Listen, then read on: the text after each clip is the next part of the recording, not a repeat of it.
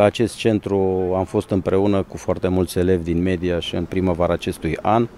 Le promiteam atunci că în momentul în care investiția va fi finalizată, ă, această lucrare va fi pusă la dispoziția lor, ă, un loc în care își vor putea petrece timpul liber într-un mod civilizat, într-un mod cât se poate de decent.